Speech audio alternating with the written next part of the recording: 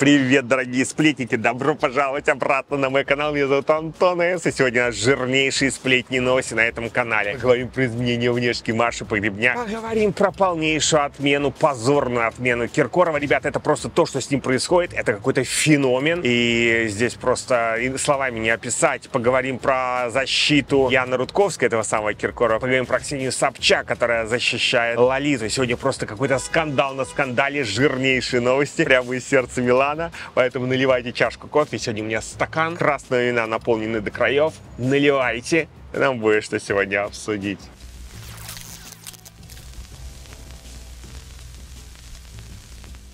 Мы должны с вами понять, что Донбасс – это не помойка.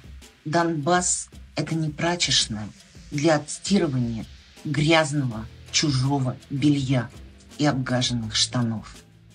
Мы должны с вами понять, что там стоят лучшие люди страны. Там стоят 18-летние мальчики. Филипп Бедросович за все эти два года ни разу не изъявлял желания появиться на фронте и ни разу не выезжал туда. В это время он занимался всем чем угодно, с собой, вечеринками, танцами на кресте. Крест – это не аксессуар. Крест – это то, с чем идут наши ребята в бой. Стяги Христовы они несут с собой. Не стыдно ли смотреть на человека, которому будет 60 лет, взрослому мужику, который утверждает, что он зашел не в ту дверь, то эти люди, которые дали такую индульгенцию ему и прочей которая вынуждена поехала на фронт, чтобы отмыться? Да это же цинизм высшей степени. Плевать в лицо людям и прилюдно пытаться отмазать этих людей. Перед выборами президента король. Король чего? Король убогих, ущербных, бессовестных людей, которые не понимают, за что борется сейчас Россия, человек, который в своих соцсетях выходит с радужной лентой и машет ей. Боженька ты мой, вот вам уникальная ситуация. Вот вам ситуация, которая разворачивается перед нашими глазами, которую абсолютно невозможно проанализировать здравым умом. Человек извинился Говорю, конечно, про Киркорова. Человек съездил на Донбасс, человек пообещал коллегам запасные ноги. Человек сказал, что он сделает все в своих силах, чтобы его родина им же гордилась и чтобы его родина его по факту простила, да? Восхитительно сказала Яна Поплавская. При отвратительнейший человек, у которого патриотизм головного мозга. Но с точки зрения, если мы сейчас будем рассматривать, я всегда, как я анализирую ситуацию, я всегда стараюсь поставить себя в сапоги того или иного человека, чтобы с ее или его точки зрения проанализировать ситуацию ситуацию, которая разворачивается перед нашими глазами. Она права. Поездки на Донбасс — это чистилище. Чистилищем в понимании том, что люди приезжают туда, чтобы якобы замолить свои грехи, чтобы получить вселенское прощение, чтобы сказать, что да, мы попросили прощения, что вам еще от нас нужно. Но я считаю, здесь очень интересная ситуация. Я сегодня давал интервью очень интересному каналу. Я обязательно оставлю ссылочку. А, я уже не успею, потому что это видео выйдет в пятницу, а мое интервью выйдет в субботу. Все равно равно я упомяну про это видео в любом случае. Получается интересная ситуация. Перед нами разворачивается самый настоящий капкан. Потому что когда меня спросили, а почему такое происходит, что вроде бы якобы ты совершил какой-то прокол, потом съездил на Донбасс, и тебя все равно не прощают. А здесь интересная ситуация, и я думаю, это одна из изощренных публичных порок, когда ты или сделал что-то преступное с точки зрения путинского режима, или когда ты промолчал, а здесь ретично постоянно говорить про войну и поддерживать военные военный путь, а, поддерживает диктатора Путина, поддерживает то самое мракобесие. Если изначально ты не прыгнул эту самую тележку безумия, то потом, впоследствии, ты едешь на Донбасс, яков... Нет, действительно прося прощения. И по итогу тебя все равно не прощают, тебя все равно отменяют. Ты попадаешь в капкан, у тебя руки ноги связаны, потому что ты сидел на Донбасс, ты помог э, военной хунте, и теперь тебе закрыт якобы, ну, возможно, я не знаю, будет ему закрыт Киркорову или нет путь на Запад, но ты уже не рукопожатный человек там, там ты тоже не сможешь зарабатывать, потому что обычно и русские, и украинцы, которые живут в Европе и Америке, они не пойдут на концерты человека, который сидел на Донбассе и поддержал войну. То есть здесь безвыходная ситуация. Очень много комментариев по поводу этой самой поездки на Донбасс Филиппа Киркорова. Петр Толстой, это вице-спикер Госдумы. Можно войти не в ту дверь, но потом можно много раз ходить в ту, и не факт, что в какой-то момент люди забудут, что ты вошел не в ту дверь. Ты можешь 12 раз войти в ту дверь, но осадочек останется как с ложечками. Политолог Артема Альхин. Не знаю, какой глупый человек придумал поездку Киркорова в Горловку. Хватит уже издеваться над жителями Донбасса. Также был заслан ДНР и Джигурда, когда был большой скандал в ДНР. При живом Захарченко никакой Джигурды в ДНР не приезжала. Военкор Юрий Котенко. Киркоров приехал отмываться в город воинской славы в Горловку. Про э, кремлевские телеграм-каналы. Так как на вечеринку обиделся лично Путин, то все пути прощения лежат только через зону боевых действий в Украине. Других вариантов звездам в Кремле не дают. Анна Мангай, журналистка из э, моего любимого «Дождя». Бойцам Киркоров исполняет песню «Снег», которую написала украинка Ирина Белык. И поет она ее на украинском. Опять не та дверь. Поговорим здесь немножечко про Ирину Белык, чью песню спел, лицемерно спел Филипп Киркоров. Ты смотрел на себя вчера? Отражение видел ты. Посмотреть на себя пора. Гений, срама и ноготы. Песню сколько уже лет поешь, но не понял ты только суть. Если в сердце ворвалась ложь, то порядочность не вернуть. Ты поешь для того, кто мой. На рассвете разрушил дом. Распыляешься перед Ордой что растопчет тебя потом. Украина стоит в слезах, ты глумишься сейчас над ней. Бог накажет на небесах, снег в крови у твоих дверей. Каждый раз, когда ты поешь, вспоминай мой печальный взгляд. Душу дьяволу ты продаешь. Какая боль, господи, какая боль, какая фрустрация, какое безумие из каждого угла, ребят. Я смотрю на сегодняшнюю ситуацию, которая разворачивается перед моими глазами. У меня неимоверная боль за мою любимую Украину. У меня абсолютнейшая боль и фрустрация за тех, которые в России не могут найти выхода из ситуации, которые категорически не согласны с тем режимом, который установил Путин, и тех, кто этот режим разжигает вот этими вот ложками огня. Это ужасное, ужасное лицемерие,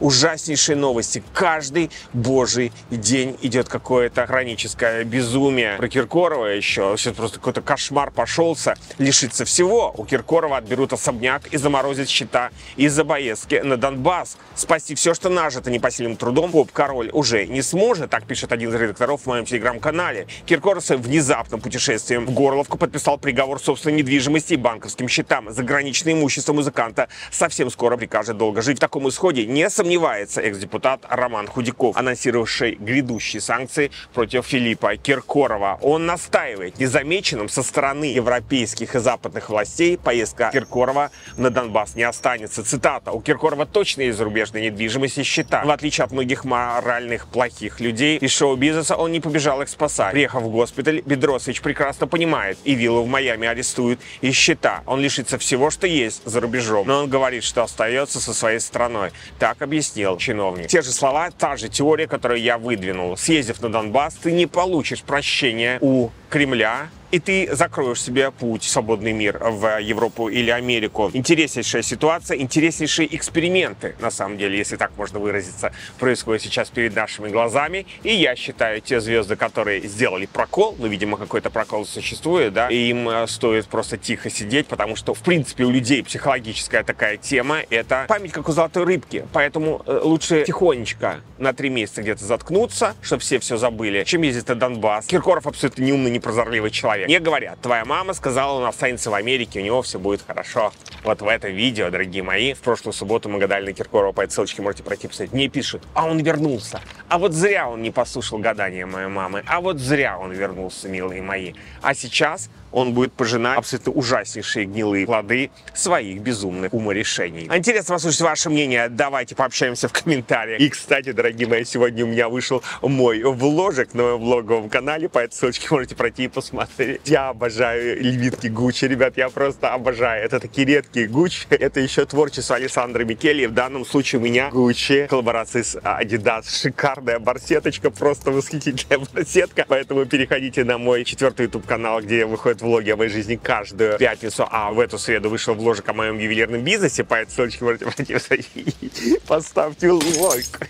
этого видео. Буквально секунда вашего времени. Это очень помогает нашему комьюнити, продвижению наших видео. И подписывайтесь, делайте эту красненькую кнопочку серенькой, подписавшись на канал, вступив таким образом в самое крутое комьюнити сплетников, русскоязычное комьюнити сплетников на этой планете. И, кстати, добавляем уже в э, копилку Киркорова возможный прокол Яны Рудковской. Она резко ответила Яне Поплавской, не поверившей в искренность поездки Киркорова на Донбасс. Цитата. «Всегда считал и считаю, что добрые дела нужно приветствовать, и их нельзя осуждать. Тем более, когда речь идет о гуманитарной миссии. Нужны протезы, нужна гуманитарная помощь, нужны, в конце концов, песни там от артистов. Вы говорите, не нужно, кому не нужно? Вам, а вот ребятам, простым ребятам, у которых сейчас самая непростая, тяжелая жизнь нужна. И детям в больницах тоже нужно. Или что, бойцам на фронте не нужна поддержка? Для них это событие. Приезд Киркорова. Вы рассматриваете это как какой-то жест, политическое заявление для тех, кто сидит в Москве. Но мы делаем это не ради одобрения. Мы помогаем. Нет, он не помогает. Он приехал туда в отчаянии спасти свою карьеру, в отчаянии спасти свой дом, в отчаянии спасти свои деньги. Это максимально лицемерный шаг, который видят абсолютно все. Но, Яна Рудковская, я тебе напомню один простой момент. Когда в свое время началось гонение на Максима Галкина, Киркоров встрял за него. И вот тогда, как он сам сказал, прямая цитата, он получил по шапке. Как бы тебе сейчас не пришлось получить по шапке, стряп за человека, который сейчас стал не рукопожатным, который ему не рады ни в Америке, ни в Европе, и уж тем более ему не рады ни в России, ни тем более на Донбасс. Оборачивайся, Яна, потому что за тобой, возможно, следующие могут прийти. Вот рвется у них, да, вот эта вот цеховая поддержка, цеховое вот это вот, вот нужно поддержать своего. М-м, нет, не сейчас. Но Яна Русковская не самая яркая лампочка в этой гирлянде, поэтому будем внимательно наблюдать за перипетиями жизни Яны Рудковской. После нашего вчерашнего видео, по этой ссылочке можете пройти и посмотреть, мы говорили там как раз про полную отмену Лолиты. Это было позорище, дорогие мои. Это было самое настоящее унижающее человеческое позорище, когда Лолита стояла, конечно, условно,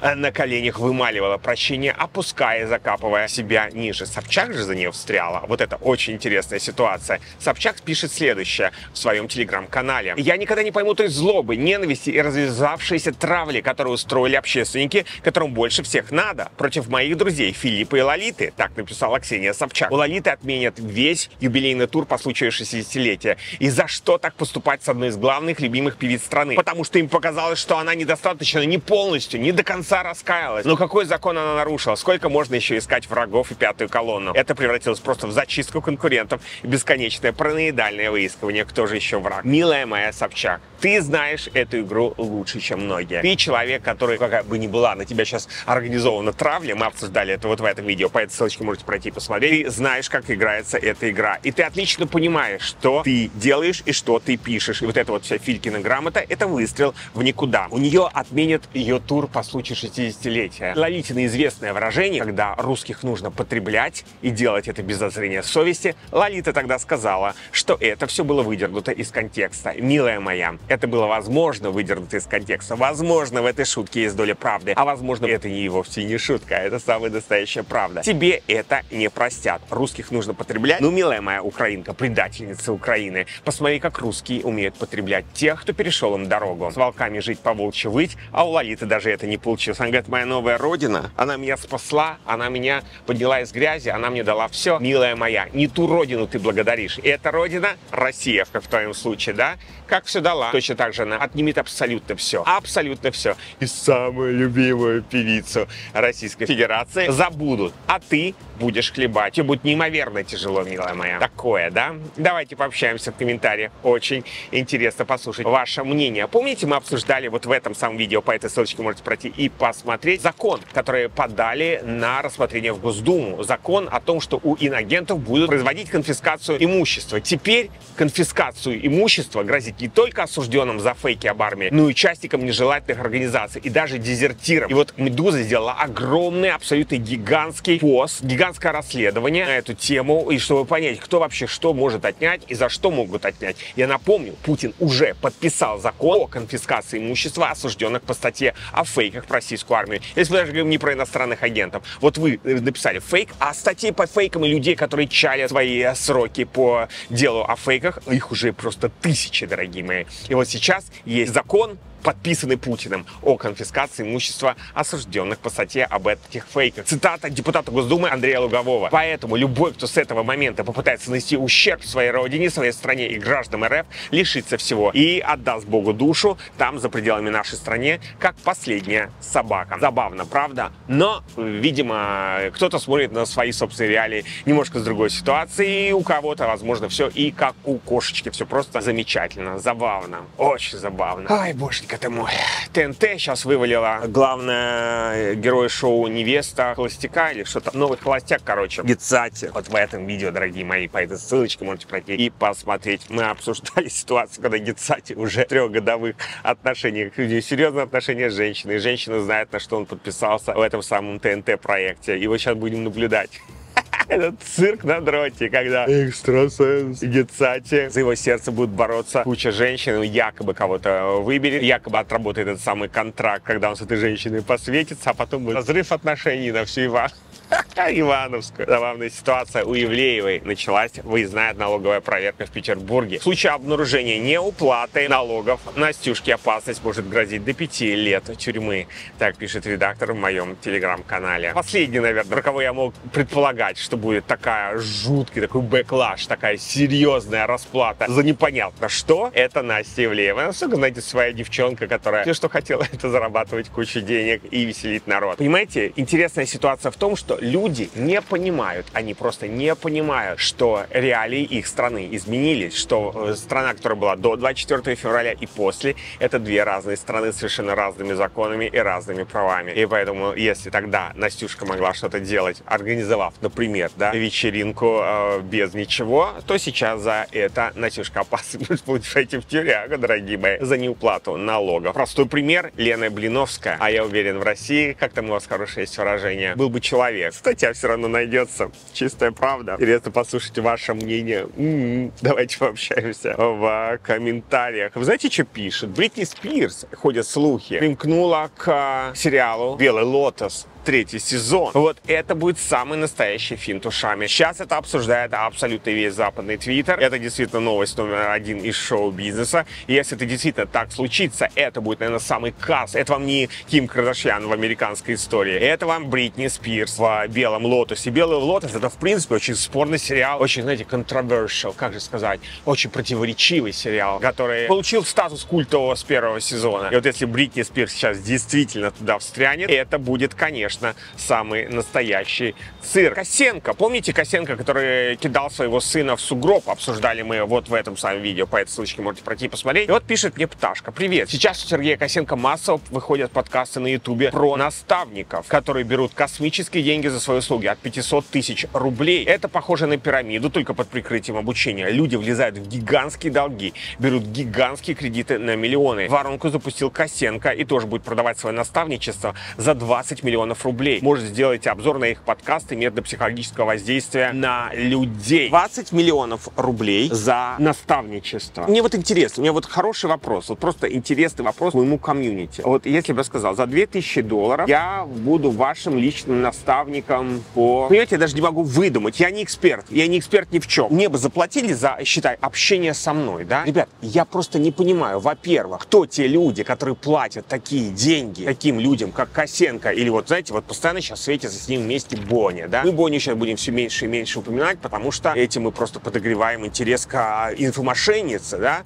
Мне, кстати, интересно, почему она так давно уехала из Франции, с юга Франции, и почему, и что, визу не продлили, что сейчас с ней стало, почему сейчас вот эти вот метания по всей планете, везде она светится, везде она просто номер один, во всех подкастах сейчас в России она сидит. В роли какой-то непонятной мне экспертки, зачем, почему, почему они во Франции больше не все, что ли, французская эпопея закончилась у гражданки Монако Виктории Бони, да? Но вот мне просто интересно, Косенко 20 миллионов рублей за его наставничество. Наставники наставников. Вообще слышите абсурд ситуации, да? Люди с абсолютно нулевой экспертной нагрузкой, которые не могут дать ничего вменяемого никому, берут миллионы от 500 тысяч рублей за наставничество. Ребята, что за новый финт ушами, что за ситуация, когда мошенники просто направо-налево гребут деньги? Откуда такие деньги гребут? Это что, все, последняя лава лавочка закрывается. Нужно напоследок не надышишься, что ли? Так получается ситуация. Я в шоке от этой ситуации. Мне интересно вообще, кто что знает, пишите, может быть, директ моего инстаграма. Будет очень интересно порассуждать на эту тему. Пару дней назад э, принц Гарри и его супруга Меган Маркл, дорогие мои, герцогиня Сассекская, открыли свой сайт sussex.com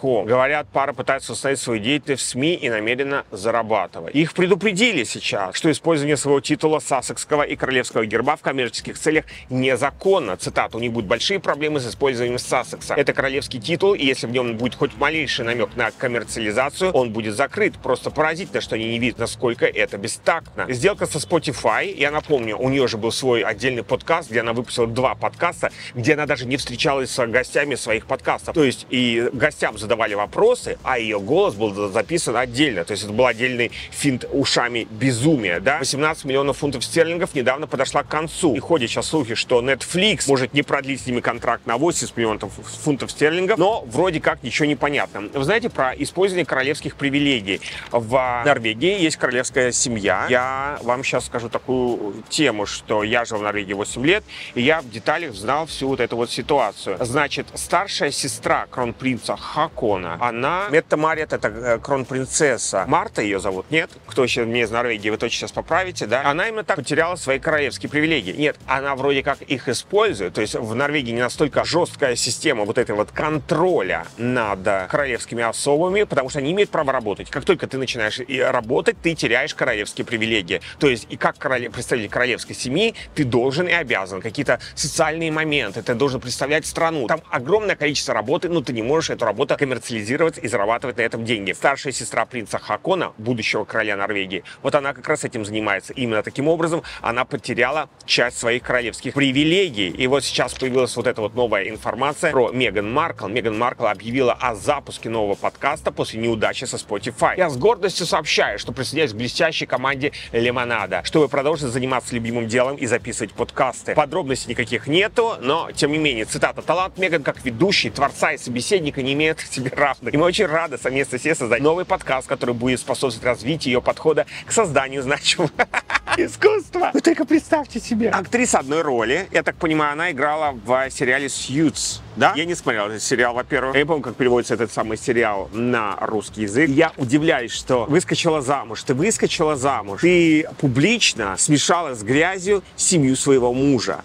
Ты дала интервью, которое смешало Букингемский дворец со всеми жутчайшими обвинениями, которые только можно себя придумать. Вы знаете, это классная попытка, но садись в два, потому что королевская семья очень любима в Британии. И какая-то Меган Маркл со всеми ее жутчайшими откровениями не смогла пошатнуть институт репутации королевской семьи. Ну, слишком любили, любили королеву на тот момент британцы, чтобы это могло как-то подпортить, подмочить еще и так, в принципе, не очень-то и святую репутацию королевского семейства. Представляете, взрослая тетка выскочила за принца Британии, да? Я люблю подкасты, я так рад заняться любимым делом, и я буду сотрудничать с сервисом Лимонада.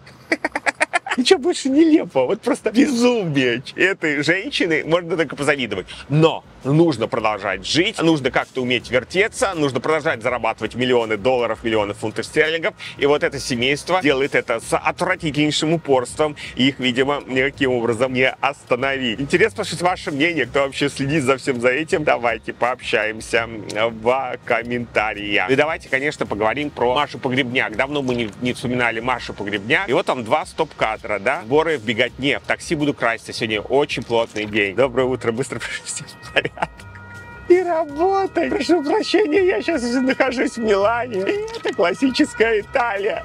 А. Я был уверен, что изуродовав свою внешность, Мария Погребняк, которой муж ей ставил рога всю свою сознательную жизнь, никогда не сможет найти себе мужика. И вот Маша Погребняк, я так понимаю, нашла так себе мужика. И вот я смотрю на эту внешку и думаю, богатейшая женщина. На какой-то момент знакомьтесь с русскими Meet the Russians. Это было шоу, где показывали безумие новориши из России и то, как они безумно тратили деньги в столице Британии. И вот Маша Погребняк была тогда образчиком безвкусия и шока для европейских российского комьюнити, потому что смотрели, как она украшала Бентли своими кристаллами Сваровски. Это было безумие. И вот сейчас, смотря, пускай это через фильтр, я не понимаю, что здесь работает. Ее неземная красота, я про это очень, конечно, сомневаюсь, что это именно так все и выглядит. Маша Погребняк выглядит плохо. Многие говорили, сзади пионерка, спереди страшная пионерка.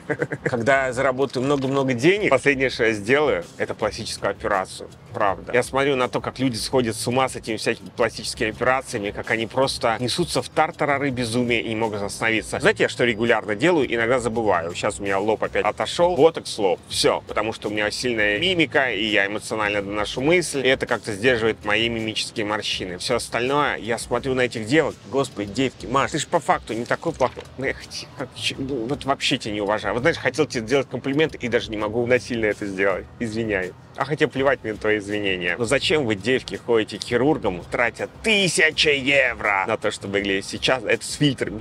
Маша еще с фильтрами.